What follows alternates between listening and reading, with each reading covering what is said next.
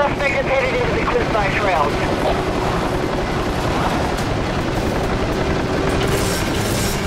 Monitoring spike strip release in your area, proceed with caution.